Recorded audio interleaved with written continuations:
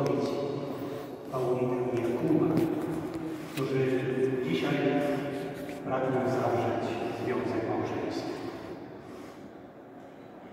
W tym bardzo ważnym dla nas czasie wraz z całą wspólnotą zgromadzoną w tej świątyni otaczamy Was naszą miłością i naszymi modlitwami.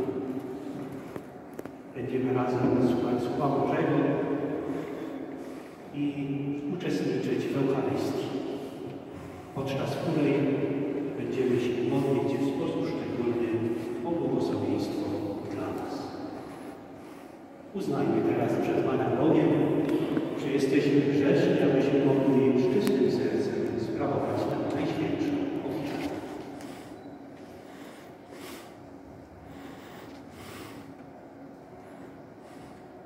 Bogu